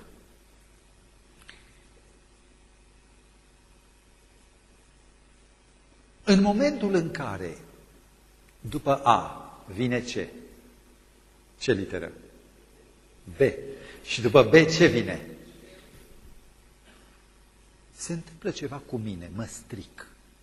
Și spunea autorul, am lins plicul, îl închid, dau cu degetul pe dunga cu lipici și un gând pormă mă bate și spune, măi, ia vezi, S-a lipit bine? Și le-au și ridic și văd că tot se deschide. Încă nu s-a uscat. E, hai înapoi, trage-l mai tare. De data aceasta a constat un alt lucru, că mai ușor se desface. Și dacă mai închid o dată și mai deschid a doua oară, a patra oară și ce se întâmplă? Stă căscat, nu se mai lipește. Pentru că e făcut sufletul să se alipească și să nu se tot joace de lipitul, deslipitul, lipitul, deslipitul, pentru că atunci se pierde lipiciul, se strică și poți să-l arunci. Dumnezeu a făcut ca noi să răspundem legii unicatului, în care comparația, băi, n-a făcut și Dumnezeu așa? i-a făcut lui Adam. Una blondă, una brună, una grasă, una slabă, una ochi verzi, una ochi albaștri și pe a zis, ei, Adame, alegeți o nevastă. Așa i-a zis Dumnezeu? Păi dacă ar fi zis așa, știți ce a făcut Adam? Și aia, și aia, și aia, și aia, și aia, care? Și ar fi rămas nesurat până azi. Și noi n-am fi fost pe lume. Pentru că problema comparației, și pot să vă spun ceva de criza genților, m-am dus să cumpăr odată, nu, cred că am scăpat o, o foaie, sau va apare în altă parte, com, uh, ideea genților. Uh, m-am dus, nu mai aveam geantă, eram pastor undeva prin București și mi s-a rupt, trebuia să iau, să reprezint biserica, o geantă. O geantă, de la magazin Unirea, popular, nu de la fashion, nu știu cum. Și am spus, sărut mâna, doamnă, o geantă. De care? Și că aia. Mi-a dat însă de pe raft, nu de desubt. Și am luat-o, am descuiat-o, am văzut că au mai pipăit-o și alții. Și eu zic, nu cum, îmi place, dar nu cumva are un defect ascuns și de-aia e pe raft. Și eu spun, mai aveți încă un exemplar de același tip ca să pot compara? Da, zice. Și din dorința de a, am, a mă convinge, a scos două. Și acum Adam era cu trei. Acum, care are defectul ascuns? Și care e bun? Doamnă, mai aveți una? Când mi-a scos-o pe a patra, chiar că n-am mai știut să aleg. Și când a intrat ea uh, în spate, am tulit-o. Le-am lăsat toate acolo. Deci vă spun, cu cât sunt mai multe opțiuni, cu atât alegerea e mai grea. Pentru că se ridică noi și noi probleme. Și de aceea Dumnezeu a făcut lui Adam câte neveste? Șapte, numărul de săvârșit. Una. Și Dumnezeu i-a dat lui Adam legea unicatului. Și vreau să vă spun un secret. Pentru mine, deși eu am fost în lume și am avut uh, diferite încercări, îi mulțumesc lui Dumnezeu. Îi mulțumesc lui Dumnezeu că soția mea a fost prima femeie pe care am cunoscut-o. Și lucrul acesta o face incomparabilă. Și nu iubesc pe niciuna ca pe ea. De ce? Că nu mai am alta cu care să compar. Dumnezeu a făcut așa ca noi să ne lipim odată și să rămânem pe veci. Și vreau să mai spun aici o întâmplare dură de tot. Am cunoscut o fată. Era membra bisericii mele dintr-o localitate, deșteaptă fată, plăcută fată, corpolentă fată, asistentă medicală și lucra într-un spital și directorul, un tip tânăr, 36 de ani, băi, o aprecia extraordinar. Adventistă, serioasă, plăcută, optimistă și tot mergea pe la ea. Și la un moment dat vine fata la mine și îmi spune, unchi Lucian, cum vedeți relația asta? Era în preajma Revoluției, lucrurile se schimbau, el zice că ține la mine, îmi spune că mă apreciază mai mult decât pe oricare, dar cu religia ce are? Păi, deocamdată nu zice nimic. Și tu ce ai zis? Păi am spus că eu, eu nu mă pot căsători și nu pot discuta decât de unul care e consacrat lui Dumnezeu. Și am spus, știi ce? Uite, aici un set de studii biblice, dă să studieze singur. Și dacă are ceva să mă cheme pe mine. Nu m-a mai chemat, dar Ancuța, fata asta, mi-a zis, și ce mi-a zis directorul? Ancuțo, ești singura fată sau femeie pe care te-aș alege azi de nevastă. Și știu că cu tine aș fi fericit. Dar am o problemă. Și a întrebat care domnule director, era director, nu Jane, domn director. Și îl spune, nu mai pot să mă lipesc de tine. Păi spuneați că mă iubiți. Te iubesc, dar nu numai pe tine. S-a jucat cu plicul, cu deslipitul, lipitul, deslipitul și nu mai poate lipi. Și nu e singurul caz. Am mai întâlnit un om extraordinar, un american, Nelson îl chema.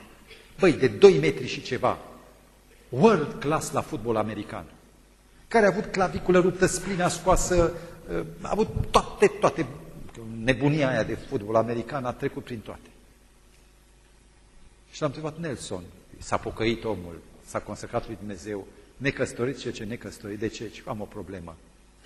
Și tatăl său mi-a spus, s-a învârtit atât de mult cu fetele, încât el nu mai crede în el, în sine, că poate să stea doar cu una.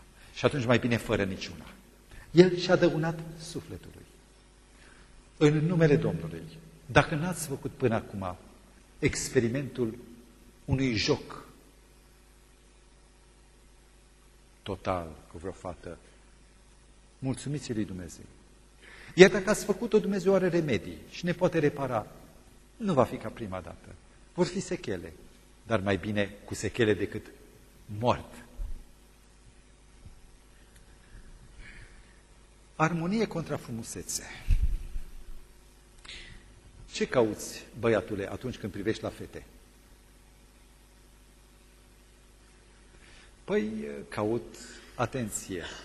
Am văzut nenumărate fete frumoase, nemăritate și nenumărate fete mai puțin beliciuni, bele, adică mai puțin strălucite, măritate și iubite de soți.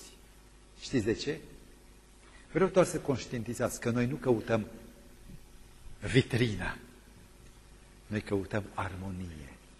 S-ar putea să fie o fată nu atât de frumoasă, dar care să fie plină de armonie și de ceva cald, care, care să te mobilizeze. Fata mea nu e o frumusețe. E plăcută, dar nu e... Ah, nu, nu, nu cad oamenii pe spate după ea, după altele cad. După ea nu.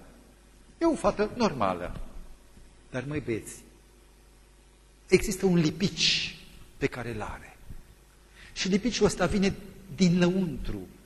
Și credeți-mă, până s-a măritat, au fost vreo 4-5 care nu mai vreau să plece de la ușa mea. Sigur, creștinește, dar mi-au arătat preșul. Și oameni de toate calibrele. Și vreau să vă spun că oamenii recunosc, recunosc armonia mai mult decât frumusețea. Vă recomand să mergeți pe armonie și veți descoperi juvaieruri, vă spun. Mi-e milă de voi că sunteți orbi și chiori. Am văzut juvaieruri în adunarea asta de fete. Eu nu sunt tânăr și ca voi. E norocul vostru. Nu-mi doresc. Sunt atât de fericit cu soția mea, doar vreau să vă vorbesc pe limba voastră. Armonia e o chestiune care vine din spirit. Ceea ce face farmecul unui om să e nasul, lungimea nasului. Culoarea sprânșenelor. Nu. E bunătatea lui. Frumusețea e o chestie de centimetri sau milimetri. Spunea Blaise Pascal, dacă nasul Cleopatrei, și dați că e un joc de cuvinte, Blaise Pascal, ar fi fost mai lung, alta era fața lumii. Deci, nas, față. Într-adevăr, armonia ține de spirit și este legea pe 1 contra pe 2. Știți ce e pe 1 contra pe 2? Personalitate versus păpușă. X a luat o păpușă și o lăsat-o. De ce? Că era goală pe dinăuntru. Altul a luat o personalitate și tot timpul nou și îndrăgostit. ăsta eu și sunt fericit. Hai să vă spun o istorie medievală. Vreți? Nu vă spun. Mai departe. Cum? Așa, băieți, treziți-vă. Ă, noi stăm până la 12 de obicei, așa -i? Mâine nu avem servici, așa -i? Da, mulțumesc lui Dumnezeu că îmi dă putere.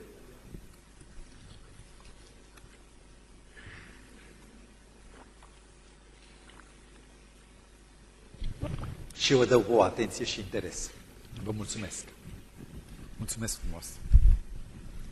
Da. Luați și asta, că nu mai întrebe. Mulțumesc. Am luat doar pentru energizare. Așa. Auziți? În Nürnbergul de altă dată, Nürnberg, Germania medievală, Walter von den Vogelweide, un neamț dintr-o familie de breslași, tată sus șef de breaslă la tăbăcari, erau pielari, curelari, zidari, aveau turnuri, bastioane, ei se îngrijeau de cetate. De aici vine cetățean, de la cetate. Ei aveau grijă cetății. Zice, tată, tată, băiatul de 25 ani, ce este fiul meu, Walter? Tatăl scria ceva pe niște crisoave, calcule, contabilitatea Brestei. Tată, măsor, vreau să măsor. E, e, și stai jos să vorbim. Și băiatul își ca mâinile, spune cine este Bibilica? Și, o, oh, tată, este Lisbeth. Îmi pare rău, nu cunosc nicio fată, eu nu mă ocup de fete. Descrie-mi eu.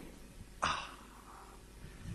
Dacă ai avea ce, dacă ai vedea ce frumoasă este. Stai, stai, stai, stai. A scos pana și ca suțit-o, a, a băgat-o în călimare și acum a luat o faină o zi. Mai zi odată. Tată, este de o frumusețe. E brunetă cu ochii albaștri. Ce stai? Zero. Băiatul nu înțelege, da? Tata. Mai spune altceva de fată, că până acum, dacă ai ști tu ce frumos se îmbracă. Are cele mai frumoase dantele și gustul. Stai, stai. Zero? Tată, da. Nu, nu, spune mai departe, că zic. Da, cântă, când cântă, cum cântă frumos. Zero. Tată, pentru tine asta nu contează. Spune fiului mai departe. Gătește minunat. Zero. Da, și băiatul din ce în ce mai chinuit și scrie poezii. Zero, călărește zero, zero și se păi bine, bine, tată, se scoală și Walterul chinuit. Dar tu ești de lemn? Nu ai fost și tu tânăr? Toate astea n-au nicio valoare? Și spune, fiule, ai spus că vrei să te însori? Da, tată. Păi tu nu te însori cu o păpușă, ca să fie frumos. Tu e o nevastă. Tu nu te însori cu un manechin să aibă haine. Nu te însori cu bucătăreasă să-ți gătească. Nici cu o cântăreață. Nu? Tu te însori cu o nevastă. Nu mi-ai spus nimic de nevastă. Iartă-mă, tată, am uitat. E cea mai credincioasă fată din biserică. Și tată ia pixul la pana și pune un 1 în fața zero și spune, băiete, ai o fată de milioane. Chiar de milioane. Da. Băieții mei, păpușa contra personalitate. Cei care vă uitați la păpușă, s-ar putea să fie și frumoasă, nu trebuie să fie și că regina nopții, noaptea, nu trebuie să fie regina nopții ca să fie bună. Înțelegeți? Poate să fie regina zilei și a luminii. Dar dacă are caracter, ăsta trebuie să fie. Nu că îmi place, ci că este un om al lui Dumnezeu. Voi vă însurați nu cu o păpușă, nici cu o cadână, nici cu o vampă. Vă însurați cu un suflet, cu un om cu care trebuie să vă asociați pe toată viața și să vă înalțe, să vă ridice. Capitolul 10, mai avem 4, 5.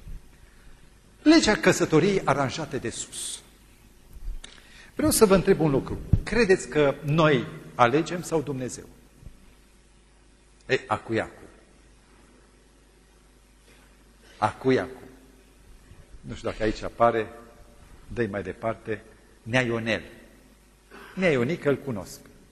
Și Nea Ionică, prezbiter, om cu greutate, de undeva, știți și voi, din România. Nea Ionică zice, a venit uh, un băiat și spune, na Ionele, cum e cu căsătoria? Noi alegem sau Dumnezeu? Și Nea Ionică zice, auzi băi, aici Dumnezeu nu se bagă, aici tu alegi. Și a venit băiatul la mine, speriat, Acum, cine alege, frate pastor, uite că mi-a zis Neonică, și am zis, te-ai uitat la familia lui? Măcar că era prezbiter, trăiau ca câinele cu pesica.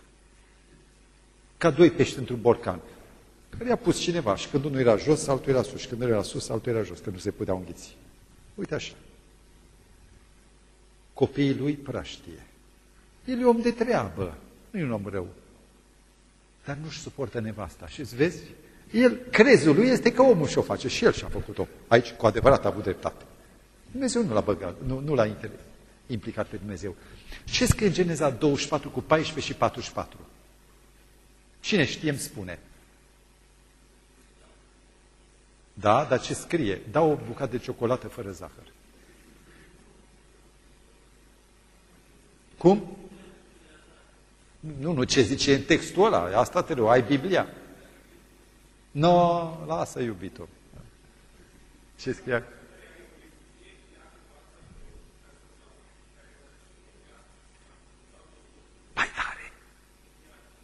Pe care ai rânduit-o tu.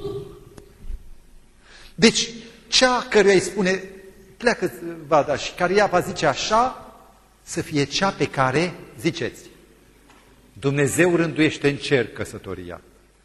Iar eu am avut o experiență extraordinară cu căsătoria mea. Înainte de a spune o vorbă sau de a crede că mă voi căsători, eu v-am spus, am zis rămâi ca Pavel. Și am avut ieri, v-am spus, de pustia mea. Și am fost în pustia mea de la 21-22 de ani de când m-am pocăit, am spus, adio, visuri. Ale tale vise piară, inima nu închide. Știți cântecul? Viața cum o duci copile, nu știți? Ei, ale tale vise piară, strofa a doua. Și am zis, piară visele, eu vreau să merg cu Domnul. Și până la 27 de ani, 27 jumate, când am luat decizia să iau serios problema, la 28 m-am căsătorit, din fericire pantoful se potrivește, piciorul crescuse. Am avut picior de matur, nu de copil. Eu n-am avut nici un fel de contact, de curtenie, de intenție cu nicio fată. Chiar dacă din prostia mea am dat uneori de înțeles, uneori, dar n-a avut nicio acoperire. Dumnezeu e martor și și ele știu. Acum, când vedeam pe cea care acum e soție, în simplitate. Nu a fost o frumusețe, etalare, dar se vede bunătatea transpirând prin ea, care nu căuta să pară cu nimic, cu nimic, cu nimic, cu nimic, cu alunițe și nimic. Când am văzut caracterul ei, i-am spus să-i spune Aurel, și am spus și altcuiva, măi, la doi inși, eu nu mă însur, eu rămân ca Pavel. Dar dacă vreodată mă voi însura, uite, cu aia mă voi însura. Da, băi, că ei aveau și ei vise, ca și mine, și eu aveam vise. Din păgânism. Și am spus, da, e omul care m-ar onora, care m-ar ridica, m-ar renobila. Dar în mintea mea eu aveam uh, vise. Și renunțam greu la fluturii care bat plioapele. Și a trebuit să am o experiență puternică și a zis, Doamne, dacă e de la Tine, sigur, în mine e firea și firea se împotrivește, dar o admir cu, fără rezerve și chiar când sunt în prezența ei, așa de bine îmi face. Deci e ceva. Nu e patima aia. Înțelegeți? Dar îmi face atât de bine convinge-mă că e de la tine. Și Dumnezeu, din un clește cu trei fălci, prin experiența extraordinară a căsătoriei mele, am fost determinat să spun, Doamne, ți-am cerut ceva și mi-ai dat mult mai mult, un potop. Merg înainte și îl laud pe Dumnezeu că am crezut în căsătoria pe care Dumnezeu mi-a rânduit-o. Capitolul 11. Legea magnetismului fatal. auzi la serviciu o fată, frumoasă fată, neîncepută. N-are alt prieten în sensul ăsta și măi, mi-ar place să o iau. Am întâlnit cazul ăsta, nici nu știți unde și, într-adevăr, fata sus. Au fost studenți amândoi, băiatul fiu prezbiterului dintr-o orășel de munte, ea, fata unor ciobani din munți, dar frumoasă, așa bine, cum se cade. Și el a spus, măi, e cu minte, e de la țară, e neîncepută, pe asta vreau. Mi se umple inima când mă uit la ea. Dați-mi un nume de băiat, să-i spun pe nume. Gigel, ai zis? Gigel. Și Gigel spune, măi, o vreau pe fata asta și s-a apropiat fiind și s-a apropiat și i-a vorbit și fetei, sigur, el, om de la oraș, cea de la fică de ciobani, dar educată, a făcut școli, era studentă la drept, a făcut dreptul fata. La data aceea era doar de stat și se intra cu examen greu, fata deșteaptă. A dus-o acasă la părinți, au o filisteancă, băiatul se luptă pentru ea, îi face studii biblice. Studiile biblice însă au făcut un lucru. I-au făcut pe cei doi să se îndrăgostească cobza. Iar studiul biblic a fost nu textul, ci pretextul. Textul a fost magnetismul celor doi. Și știți ce am descoperit? Că dacă stai lângă un măgar, după câteva zile începe să-ți placă și de el. Că omul e în stare, e capabil să se îndrăgostească de oricine, știați? Pentru că există ceva care se cheamă magnetism, care mă trage, mă duce, mă suge. Iar tu descoperi în tine drive-ul ăsta, mânarea asta, care de natură hormonală, nu? Cum am zis noi. De natură hormonală. Dragii mei, dacă faceți așa ceva, vă păcăliți. Și intrați în capitolul 12, legea toboganului. V-ați dat ca copii pe tobogan? Și eu m-am dat și am făcut exerciții foarte interesante.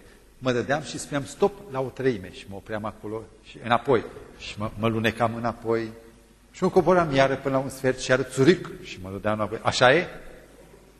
Cum e legea toboganului?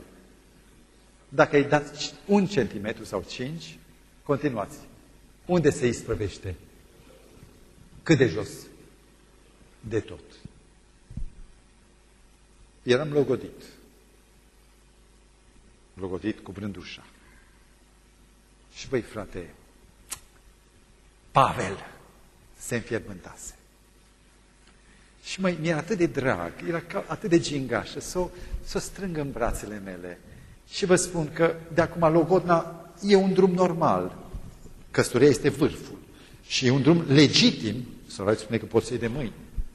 Până atunci nu-i nevoie, se produce furtună hormonală, mormoni. Și acest drum trebuie să fie ascendent ca să justifice piscul. Și vă spun că ah, mai vreau o dată. Și soția spunea, Lucișor, mai sunt două săptămâni, hai să ne rugăm. Mai sunt două, mai, mai, mai, mai. Dar toboganul și am apucat să și mă trăgea înapoi și ia, țuric. Și vă spun că lucrul acesta e teribil. Și eu mi-a dat seama și știu că e lunecostare. Și când te duci, toboganul îți înalță momentul mai presus de perspectivă. Că dacă nu era ea, eu mă duceam până în fund, pierdeam seminarul și nu mă mai interesa nici seminar, nici pastorat, eu vreau pe ea. Momentul e mai tare ca perspectiva. Instinctul mai tare ca rațiunea. Feriți-vă în numele Domnului de joacă de atoboganul. Capitolul 13. Blestemul furtișacului.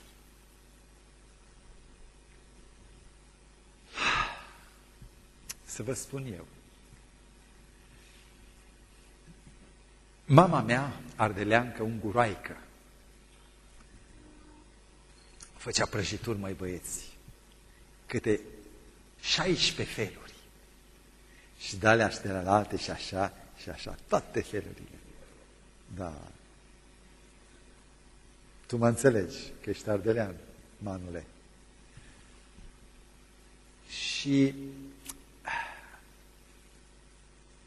noi am fost destul de săraci. Noi n-am avut niciodată bani. Iar dacă aveam, strângeam bănuți mici, că n-am avut. Tata era inginer și la data aceea, în comunism, la început, inginerul era considerat banditul de inginer, burghez. Dar tata a fost orfan de ambii părinți și nu conta asta. Dacă e inginer, ești, ești burghez. Și aveau salarii mai mici inginerii decât muncitorii. Era o chestie politică pentru echilibrarea uh, ideologiei. Și vă spun, mama întotdeauna a avut grijă ca o dată pe săptămână, o dată la două săptămâni să facă prăjituri. Și știți că prăjiturile erau făcute cu mânuța ei, costau bani și spunea copii, mâncăm doar când pun eu la masă și atunci una. Ca să avem mult timp, că dacă le mâncăm toate până mâine, nu avem. Era logic. Și mirosea prăjitură. Eu știam unde le pune și mama s-a dus la piață. Și eu zic, minte de copil, de unde să știe mama câte prăjituri sunt? Că erau puse așa, știi, pe farfurie. Și eu zic, mă duc și iau. M-am suit pe scaun, că eram mic, cred că aveam, nu mergeam la școală încă 5-6 ani. Că atunci gândește omul, gândește foarte sigur pe el, dar aiurea. Și îmi zice, și mă sui, măi băieți, îmi tremura mâna, am înfulecat-o, dar cu spaimă, cu vină. Și pentru că era bună și erau multe, și unde se știe mama câte sunt. Am mai luat una. Și pe urmă m-am șers pe gură, am pus scaunul la loc. Încă nu. Și vine mama. Vă spun, am, eram muncit. Dar dacă află, și ce ai făcut? Și am venit, am stat în fața mamei de așa. Și mă măsuită și spune, tu, Luci, ai luat din prăjitură.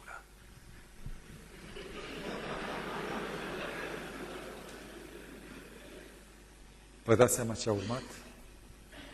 Mi s-a tăiat rația la toată farfuria. Eu nu mai mă uitam și jinduiam. Și nu mi s-a mai dat nici una, pentru că am furat. Și Dumnezeu spune, nu-i tot al tău? Nu pentru tine am făcut mireasa. De ce să o furi? Eu ți-o dau, îți dau și binecuvântare și ți-o mulțesc. Să o ai tot nouă, dar nu fura. E pentru tine. Cere meu. Vine timpul și îți dau, ne rugăm. Și ea ta, nu e a ta. De ce să o furi? Și vei fi nenorocit și nu vei mai avea parte ca mine. Ă, băiatul meu, că vă spun de astea că au trăit, nu că sunt grozav, sunt ca, exact ca voi. Dar băiatul meu și l-aș luat jurământul că până nu va fi mare, nu va avea nicio fată. Nu l-a dus capul. El e mai liniștit. Irina era mai zvârlugă. Și la un moment dat